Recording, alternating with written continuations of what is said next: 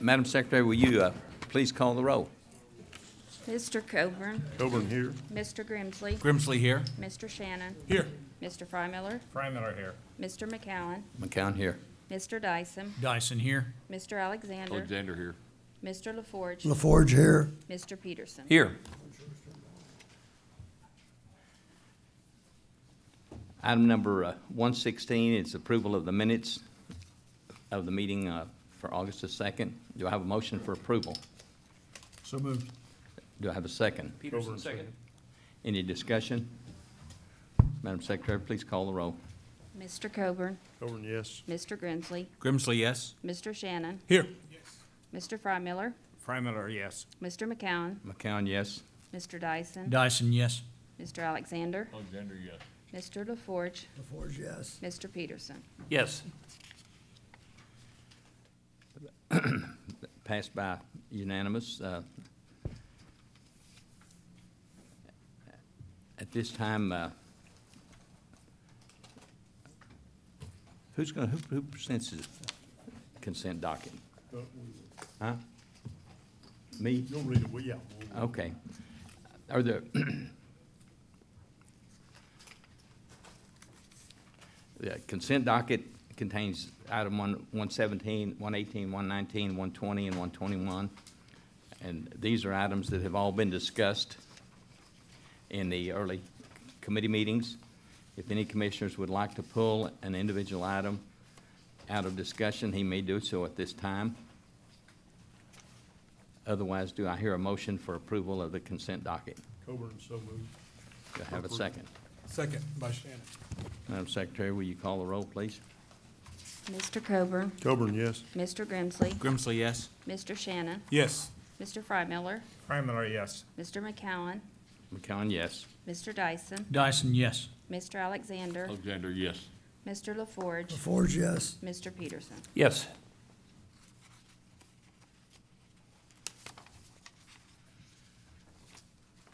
Item number one twenty-one is uh, the uh, declaration of an emergency bridge repair project. Uh, Mr. Davis, you're recognized to present.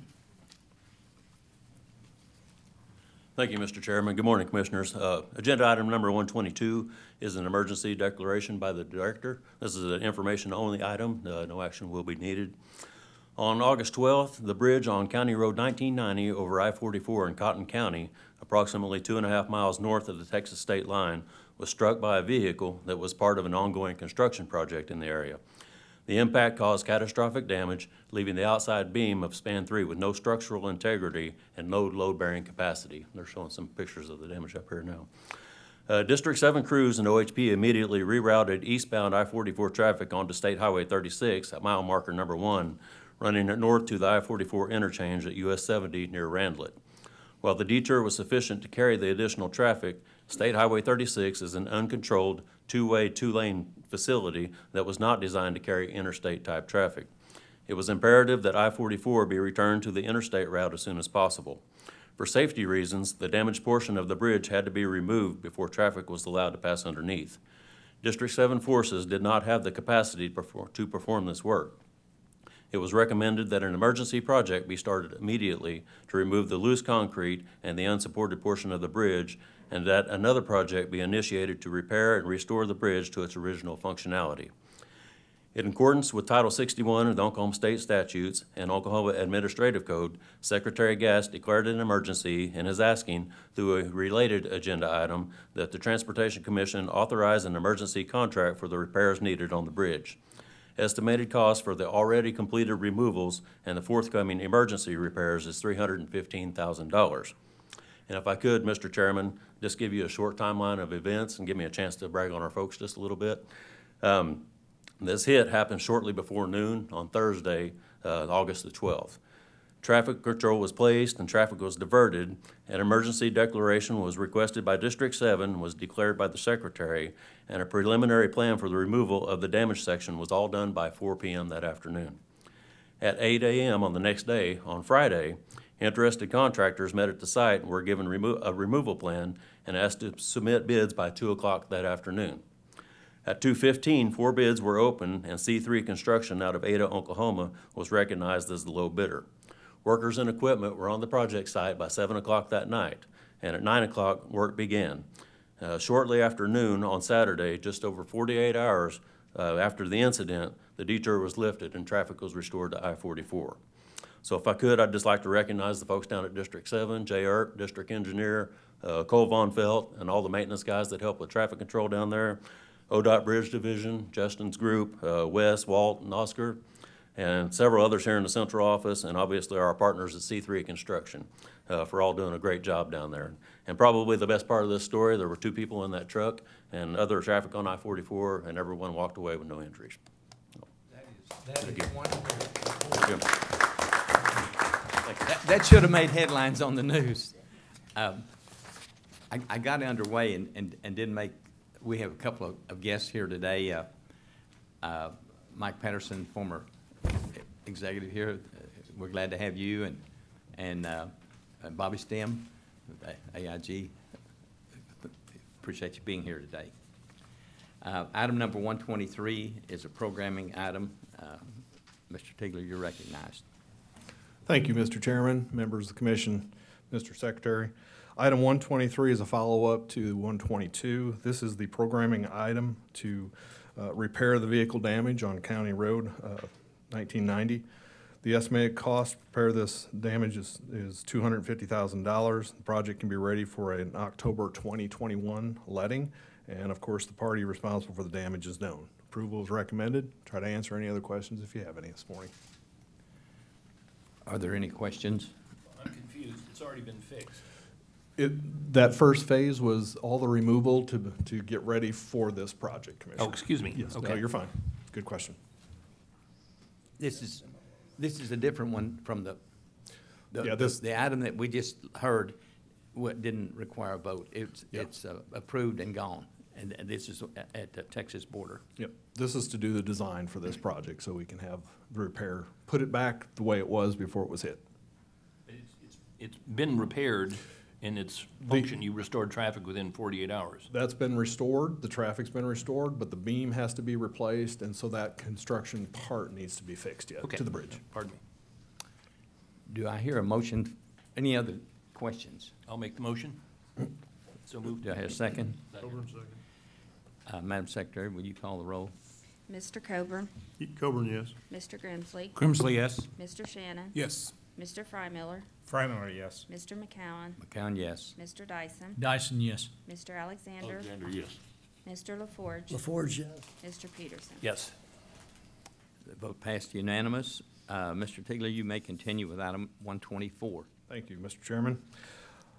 I have eight engineering contracts this month, five statewide and three project-specific. Part A is our statewide all districts on-demand engineering service- services.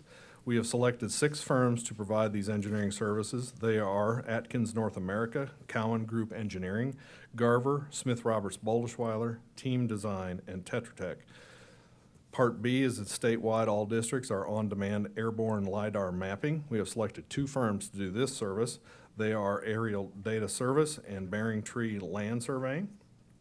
Part C is that statewide, all districts are on-demand cultural resources inventories, NRHP evaluations and mitigation proposals. We have selected six firms to provide this service. They are AmaTerra Environmental, Blanton and Associates, Cox McLain Environmental Consulting, Integrated Environmental Solutions, Mead and Hunt, and Wood Environmental and Infrastructure Solutions. Part D is our statewide, all districts on-demand environmental services for local government projects. We have selected eight firms to do this service, and they are Able Consulting, C.H. Guernsey and Company, CC Environmental, Cox McLain Environmental Consulting, CP&Y, Garver, Kleinfelder, and Olson. Part E is our statewide all districts architectural services and preparation of building construction plans. Department has selected CEC Corporation to provide site adaptation for our port of entry and way station buildings. Total not to exceed amount is $3 million. Part F, Muskogee County and District One.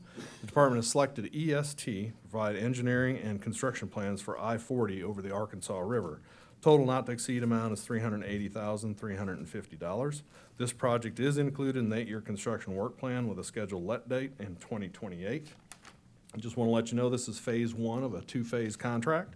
This is going to do the bridge assessment and the survey and some environmental. Part G, Beckham County and District Five, we have selected Freese and Nichols to prepare construction plans for State Highway one fifty-two. Total not to exceed amount is nine hundred and five thousand dollars. This project is also included in that year construction work plan and let date of twenty twenty-seven. And finally, Part H in Tillman County and District Five, Department has selected Consor Engineering to, uh, to do the construction plans for five locations of these bridges. These are bridge and approach projects. Total not to exceed amount is six hundred and fifty-four thousand, six hundred and fifty dollars. These projects, or this project is in the eight-year construction work plan in twenty twenty-seven. Approval is recommended. Try to answer any questions if you gentlemen have any this morning. Do you have a motion for approval? Alexander makes a motion. And second? Second. Any discussion? Madam Secretary, please call the roll. Mr. Coburn, Coburn, yes. Mr. Grimsley, Grimsley, yes. Mr. Shannon. Yes. Mr. Freymiller, Fry Miller, yes. Mr. McKown, McKown, yes. Mr. Dyson, Dyson, yes. Mr. Alexander, Alexander, yes. Mr. LaForge, LaForge, yes. Mr. Peterson. Yes. Passed unanimous. You may continue with items one twenty-five. Thank you, Mr. Chairman. Item one twenty-five are our engineering contract supplements. I have three parts this, uh, this month. Part A is our statewide, all districts are on system bridge standards. Uh, we previously authorized and selected CP and Y to do the on-system bridge standards for our reinforced concrete box culverts. Supplement not to exceed amount is three hundred and eighty-four thousand, eight hundred and sixty-seven dollars. Part B is our Seminole County and District Three previously authorized Benham Design to perform engineering and final construction plans for State Highway 99. Supplement not to exceed amount is $244,162. This project is in the eight-year construction work plans and a let date for 2028. And finally, Part C in Osage County in District 8. Previously authorized Poe and Associates to perform engineering and construction plans for State Highway 20. Supplement not to exceed amount is $12,269. This project is also in the eight-year construction work plan in 2022. Approval is recommended. Trying to answer any question if you have any this morning. Do I have a motion for approval? So moved by Shannon. Do I- second. Are there any, any discussion?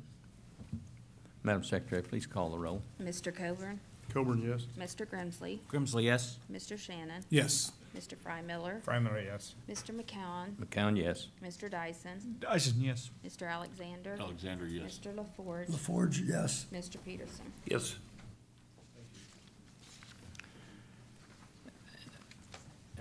Mr. Leonard will present the, uh, item number one twenty-six. Morning, Mr. Chairman, members of the commission, Mr. Secretary. Uh, I'd like to present item number one twenty-six, parts A through double D. These are change orders on projects which have a cumulative total of change orders of seventy-five thousand dollars or less.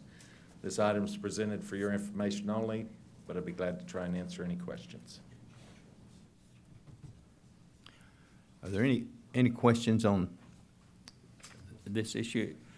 Uh, You, you may go ahead and, and uh, present uh, item number one twenty-seven. All right. Uh, Item number one twenty-seven, parts A through double F. These are change orders on projects which have a cumulative total of change orders greater than seventy-five thousand dollars. Your rec, approval is recommended, and I'd be glad to answer any questions.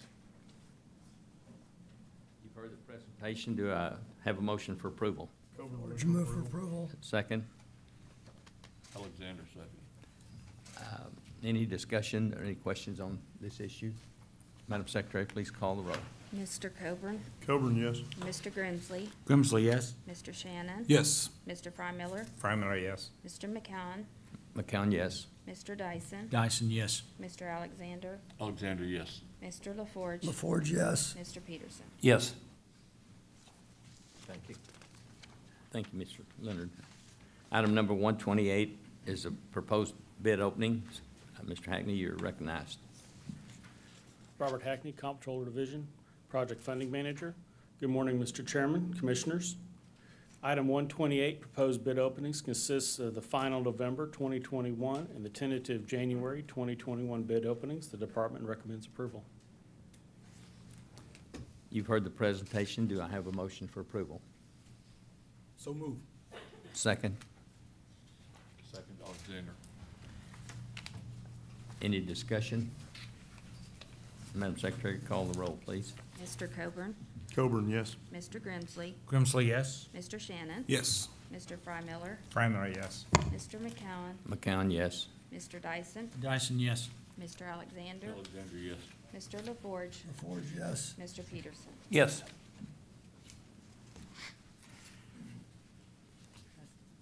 Passed by unima- unanimous. Uh, Item number 129 is the settlement for damage to state property. Uh, Mrs. Helms? Good morning, Mr. Chairman and members of the commission. Agenda item one twenty-nine is for the settlement for damages to state property. And it has two parts. Part A is for a damage to a stop sign in the amount of four hundred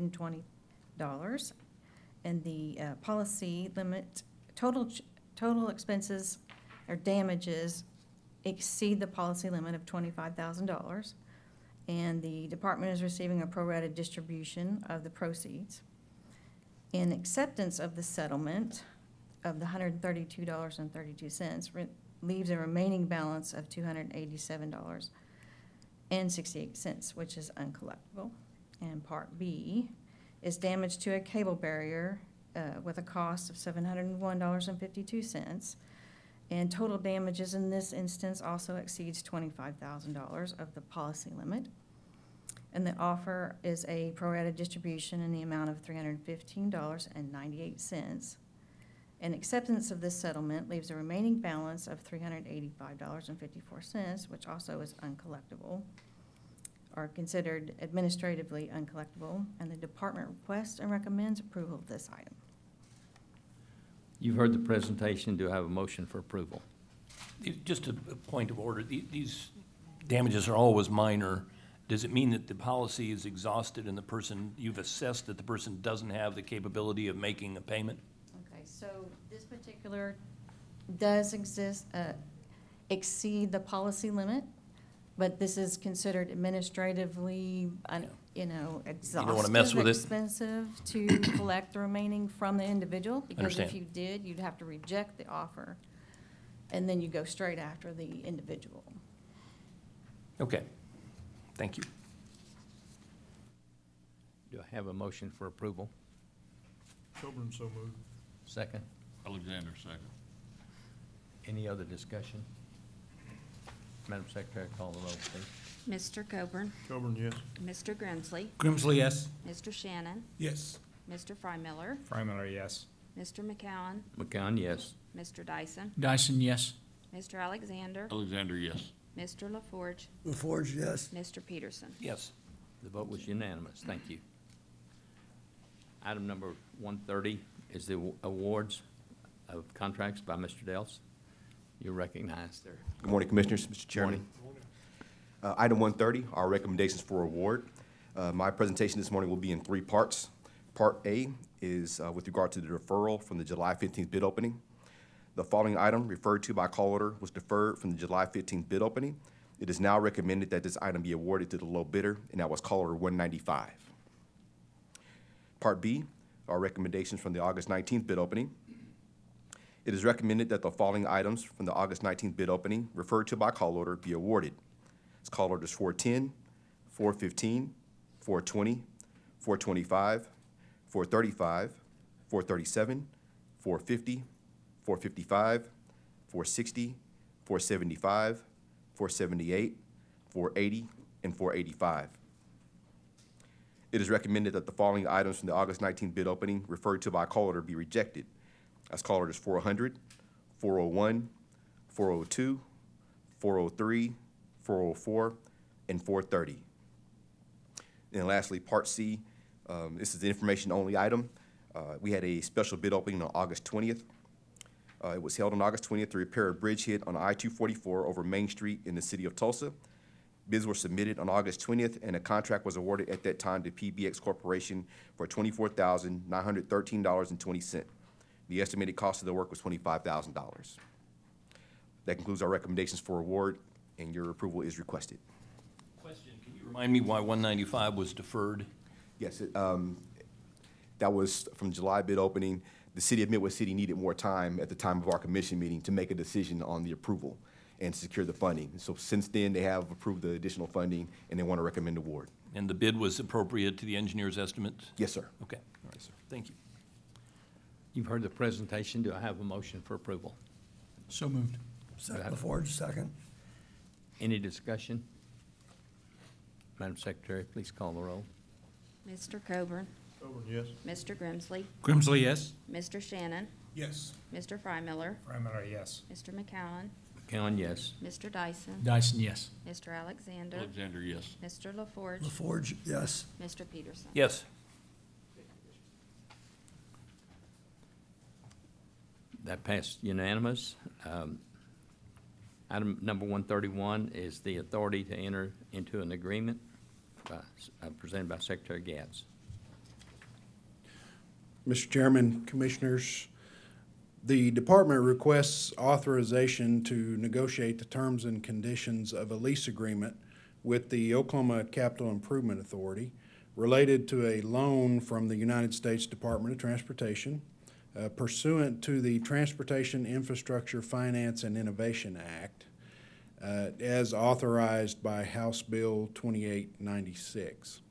Uh, Pursuant to 2896, the proceeds of the TIFIA loan will fund a portion of the department's Rural Two Lane Advancement and Management Program. Uh, And that, again, is a uh, program where we are really seeking to add shoulders to our narrow rural two-lane highways that don't have shoulders on them today.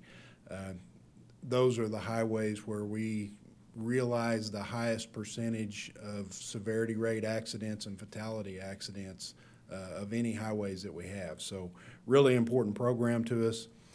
This loan will allow us to accelerate the improvement of those rural two-lane uh, highways and add shoulders to them at a, at a faster rate. And the rental payments will be made by ODOT to the Capital Improvement Authority pursuant to a lease agreement, uh, and that will cover the cost of the principal and interest on the related TIFIA loan. Uh, The TIFIA loan, again, is a program that's becoming a increasingly important tool in the department's toolbox, especially when it comes to projects like this. Uh, The TIFIA loan uh, interest rate for this rural project initiative uh, is one half of treasuries. And again, that interest rate presents a very attractive opportunity for us to accelerate some projects. So uh, we recommend your approval and uh, authorization to proceed with the loan agreement. You've heard the presentation. Do I have a motion for approval? Freymiller make motion. Second? LaForge, second. Any discussion on this? Madam Secretary, please call the roll. Mr. Coburn, Coburn, yes. Mr. Grimsley, Grimsley, yes. Mr. Shannon, Yes. Mr. Freymiller, Freymiller, yes. Mr. McKown, McKown, yes. Mr. Dyson, Dyson, yes. Mr. Alexander, Alexander, yes. Mr. LaForge, LaForge, yes. Mr. Peterson. Yes. Passed unanimous. Um, Item 132, the Secretary's uh, report. Thank you, Mr. Chairman. And I appreciate your consideration and authorization to proceed with that agreement. Again, uh, that's going to be a big help to us to move these projects forward faster. And uh, TIFIA, again, at that, the way that the USDOT has structured that innovative financing program uh, really is, presents such a good opportunity, it's hard for us to ignore it. So uh, thank you for your consideration and approval. Uh, Mr. Chairman, I would also recognize that I uh, saw Representative Nicole Miller join us uh, partway through the commission meeting, so certainly recognize her. And uh, thank you, Representative Miller, for, for uh, coming to the commission meeting this morning. Representative Miller is the vice chair of the Transportation Appropriations Committee, so glad to have her with us. On the federal funding front, uh, I advise the commission that the Federal Highway Administration uh, put the department on notice that the Highway Trust Fund is experiencing some, some funding issues, uh, potentially to go into the red in sometime in mid-October. Uh, If that happens, uh, what ultimately the department will need to do is uh, operate off of a pro rata type of a reimbursement. Uh, The department pays our invoices on federally funded projects with state funds, turns around and files a reimbursement request with the Federal Highway Administration. If the trust fund goes into the, uh, a situation where it's going month to month with deposits, again, the department would only be able to be reimbursed at a pro rata share of whatever deposit was made to the trust fund. Um, Again, we are very closely monitoring this situation. Uh, It's happened on multiple occasions since about 2008.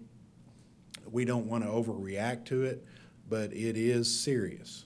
And, uh, you know, we will be, like I said, closely monitoring as we move closer through the month of September to the end of the federal fiscal year. Um, So again, just wanted to make the commission aware of that condition. That flows directly into the reauthorization of our federal transportation bill. Uh, As we've discussed before, the reauthorization of a five-year highway bill has been rolled up into the bipartisan infrastructure plan, the one point two trillion dollar plan. Not all of that is highway and bridge funding. Uh, There are many different types of infrastructure that are funded in that plan, but our five-year reauthorization has been rolled up into it, uh, into the bill that's currently under consideration in the House. My understanding is, is that uh, the House is scheduled to vote for that on September 27th, so we will be paying very close attention to those proceedings. Uh, That would be the place where it would be likely that the trust fund issue would be addressed uh, by the Congress uh, in the context of the reauthorization of the highway bill. So again, we'll watch that very closely and keep you apprised of those proceedings as we move closer to the end of the federal fiscal year.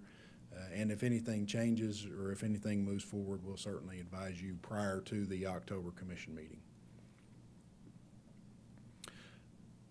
Thought it was important this morning to recognize the opening of a new interchange at Interstate 40 and Frisco Road there on the west side of Yukon. Um, It's the- one of the newest interchanges that we've worked on in the last few years. Uh, That's an important project for the city of Yukon, uh, but it's not one that the department can go and undertake without the support of the community. And the support means uh, the city of Yukon came to the table with financial resources. Uh, They uh, did the environmental document, did the engineering work, uh, bought the right-of-way, moved the utilities, and participated in some of the construction costs. Those types of partnerships for that new access point uh, really are the only way that the department can move projects like that forward uh, very easily. Uh, Our resources are focused directly on maintaining the highway system uh, from the center line out. So we're trying to get our arms around our pavement condition issues, our bridge condition issues, and make safety improvements. And it's very difficult for us to introduce a new access point like this without some assistance. So again, thanks for the uh, partnership from the city of Yukon. Uh, That's going to be a very high-functioning interchange and uh, certainly one where we're very pleased to uh, add to the interstate system. It's Rail Safety uh, Week in September. It occurs the week of September 20th through the 26th. Uh, Certainly, the department partners with the Oklahoma Railroad Association and, and through Operation Lifesaver to take a hard look at uh, adding safety improvements at railroad crossings in the form of uh, lights, bells, uh, gate arms. And uh, I think it's most important to remember that when you encounter those types of uh, safety improvements, so if the gates are down, please don't drive around them. Uh, Trains cannot stop, and when a passenger vehicle or commercial vehicle uh, encounters a train, the outcome is never good. Uh, So again, we'd ask for the traveling public to be very careful and uh, really take a hard look at safety precautions and for uh, pedestrians. Uh, Best thing you can do is to stay out of railroad rights-of-way. Those are private rights-of-way. And uh, we occasionally see a, a really bad outcome when a pedestrian is, is uh, around a rail crossing or, or along a rail line. Uh, We had four rail crossing improvement projects this month on the consent docket, so we appreciate your consideration and approval of those. and uh, look forward to future opportunities to enhance rail safety in the state of Oklahoma. Kind of staying on the safety theme, uh, the safety campaign for the month of September is uh, focusing on the dangers of impaired driving. And that includes driving under the influence of alcohol, marijuana, uh, prescription drugs, and even driving while drowsy is characterized as driving with an impairment. Uh, So again, we want the uh, traveling public to really pay close attention to uh, their conditions before they get behind the wheel of a vehicle and be very careful and very mindful. The safety campaign, again, is always underpinned with seatbelts. And make safety stick, everybody click is kind of that underpinned uh, safety part of that campaign. And it's something that I personally am uniquely focused on. You guys have heard me talk about safety belt usage before and how Oklahoma has to do better. One of the ways that uh, individuals can protect themselves from a potential uh, injury accident or, or worse yet, a fatality accident uh, is to use that first line of defense and buckle that seatbelt. Uh, too many times we see accidents that somebody might have walked away from uh, result in a, a severe injury or fatality. So help us out, buckle up. Let's get our fatality and severe accident numbers down in the state of Oklahoma. Uh, there's a very close relationship between seatbelt usage and the number of fatality and severe injury accidents we have. So please buckle your seatbelt. And you considered this morning, uh, for informational purposes, the uh, bridge hit, where we had a pretty catastrophic uh, bridge impact there on I-44. And, you know, that's, seems like uh, through the summer, uh, we see a lot of bridge hits across the state of Oklahoma. And I think it's worth reminding uh, everybody that, uh, you know, our legal height in Oklahoma is 14 feet. Uh, we've got a lot of bridges out there on the system that are 14 foot six. So if you're hauling a load and you're approaching that 14 foot height, get the tape measure out, check that load height just to be absolutely sure. Double check it, make sure everything is boomed down and strapped down properly, uh, and make sure that you're not exceeding the height limits. And uh, again, appreciate your consideration and approval of the Interstate 44 bridge repair. Uh, Guys did a great job and will do a great job getting that uh, County Road over uh, bridge facility back open. Uh, Right now, Commissioner Peterson, we've removed that beam that was badly damaged in that section of the deck, and the, the contract that you programmed this morning will put that lane back now and put a bridge beam back in there. Um, As you might imagine, ordering a bridge beam like that and getting that delivered uh, is a little bit time-consuming. Uh, So it'll take us just a minute or two to get that back, but the guys are working hard on uh, getting that contract ready to let. And uh, we'll advise you whenever that facility's back open here in the not-too-distant future, so.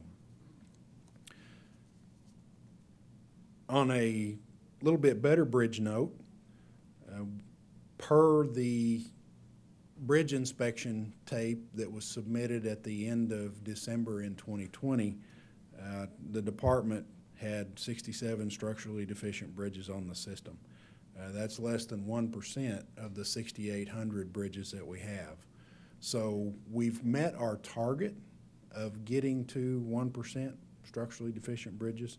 More importantly, we just received uh, the national bridge inspection data, and we're able to extrapolate from that a, uh, na- a ranking for Oklahoma by uh, the statistics, and that's by number of bridges.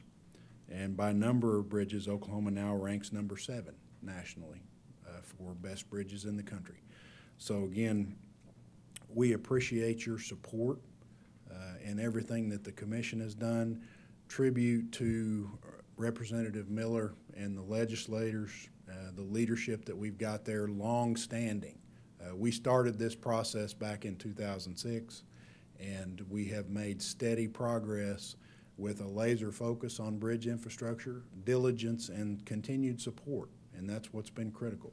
Uh, The roads fund has been a primary factor there, along with the focus that is in the eight-year construction work plan. And as part of the eight-year plan, we have not only these sixty-seven structurally deficient bridges, but uh, probably seven or eight hundred more that'll be in the, the next approval uh, that are what we call at risk. Uh, We've got over a thousand bridges out the- on the highway system today that are eighty years old or older.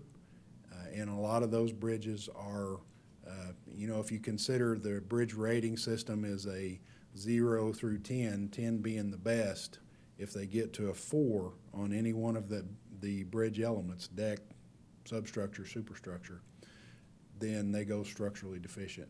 We've got lots of them out there that are fives right now, that we're really keeping a close eye on. So we are not done investing in our bridge infrastructure. We've got work to do, uh, but we have done fantastic work with the resources that have been made available. So congratulations to the commission, uh, to all Oklahomans, and to everyone with the department and our engineering and contractor partners uh, that have played a role in helping us accomplish that. That is something that is really to be proud of, so. With that, Mr. Chairman, I would be happy to answer any questions that any of the commissioners may have. Mr. Chairman, one question. Mr. Secretary, thank you for that report. Congratulations on the ranking, on the national ranking, uh, number seven. I'm just curious what the ranking was before. So we were, that is up two from number nine. Uh, We got into the top 10 in the 2019 report, and uh, again, we're up two this year, so. Was, was that our first time in the top ten? When we were ranked number nine, yes, sir, in 2019, which is again a, uh, uh, an achievement that has taken us years to get to, but uh, it shows what focus and resources can accomplish. Are there any other questions? Yeah. Uh, That, the bridge that got hit, I assume that semi was at full speed when it hit it? From the, from the damage to that concrete beam, it was moving at a pretty good clip. I don't know exactly how, uh, how fast you can go with a dump bed up. Uh, That's the other thing. If you're running a, a tractor trailer with a dump bed or even just a regular dump truck, please make absolutely sure that bed's down before you take off on the highway, because it's, it's, can do extreme damage to our bridge infrastructure, as evidenced by some of those photographs. Yeah, uh, it- As part of any of our safety partnership, you know, campaigns, is there any way that we could maybe, you know, raise awareness or do an additional, I mean, we could work with maybe some of the associations, is it, would that, do you believe that would provide any benefit, just education to the public? Because it seems like it's, if you said it happens in the summer, may- there may be some seasonal things maybe we should look at. Sure, don't. I think that's a, a good idea, Commissioner Grimsley. We can reach out to uh, Jim Newport with the Trucking Association maybe, um, and, and visit with them a little bit, a bit to see about uh, some of the overheight loads. And again, if a, if a load is over fourteen feet, then it's routed specifically on highways that don't have uh, height restrictions. Right. Uh, So those get, get picked up pretty read- readily. It's the ones that are right there, you know, at fourteen feet where uh, if the load shifts just a little bit, if it's a tank and it, it has a flange or something off the top of it that they didn't account for, that's where we see some of these hits originating from. And really, that, that's just operator. They, the operators have to be really, really attentive to those height restrictions. And, uh, but that's a great point. I think we can put something together along Are, those lines. are there any existing statutes? I mean, if you're driving with a dump bed raised down an interstate, you're not dumping gravel, or you shouldn't be. I mean, is there something that we, are there additional enforcements that we could be doing just, you know, to discourage that type of behavior? I think. I, I don't know that there is, is additional regulation that's needed. Right. Uh, it, it's unlawful to run with the bed in that condition, certainly unsafe. Um, line that I, I'm, I'm not gonna be able to remember, but you can't fix stupid. Yeah, exactly. Um, I mean, that's just like, Yeah. so elementary. It's like you get in your car at night, you turn on the headlights. Right. Yeah, well, you see people that drive without the headlights on, and so, But there's enforcement right now, is what you're well, they saying. need to be throttled, and I hope this company has got lots of insurance, and Sarah goes after them. Um, no, that's just idiotic. Right, right. And, and, but it happens to all of us. We've got, between Don and I, you know, a couple thousand truck drivers, and occasionally they will do dumb things. Right, And they're, coached and incented and all of that and trained, but stupid happens. Well, the consequences could be, I mean, this type of stuff could, you know, there could be multiple fatalities. Oh, and stuff oh, like that. yeah. So it could be far, terrible. far worse than just bridge damage. It's terrible. you know, so. Yeah, we were e- extremely fortunate with that particular accident that uh, there were no severe injuries. Um, But again, it, it's time lost to the detour, because that's an interstate facility. Uh, That's not good. That county road is still closed. So again, a lot of moving parts to uh, putting something like that back together. And it, it's, you know, just simple. Check, check those loads. uh, Be There careful. is a requirement that truckers carry a million dollars in liability though, isn't there, in the state of Oklahoma? There's certainly a liability insurance requirement. I think it It's- varies. It's actually seven hundred and fifty thousand, if, unless you're hauling hazardous material, then it's a million. Yeah. So it's, Well, the, the- the, this is l- within the insurance range, so this will be paid for by somebody's insurance.